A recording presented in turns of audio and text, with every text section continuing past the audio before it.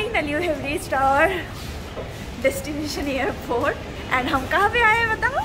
कैलकाटा ये हम घर जा रहे हैं। और सो so एक्साइटेड मैं घर जा रही हूँ दो साल बाद। एग्जैक्टली आफ्टर टू इयर्स तो I am really excited to go to my home और जब भी मैंने उसे देखा I just hugged him so tightly we are so happy बहुत अच्छा लग रहा था और एयरपोर्ट में सब देख रहे थे कि हम दोनों इतने प्यार से गले रख रहे थे। और पता है, सबसे पहले उसने क्या क्या? तू मोटी हो गई है। पहला जोक था। फिर हम बात करने लगे, ये, वो, पता नहीं क्या बात कर रहे थे। हम दोनों ऐसे ही बात करने लगे और दिव्यांदु को बिल्कुल भूल गए। वो पीछे से बोल रहा था, दादा भाई दादा भाई, हमने सुना ही नहीं, हम देखो, बात ही करते रहे करते रहे। फिर अचानक याद आया, अरे यार पीछे तो दिव्यांदु है फिर हम भाग के चले आए।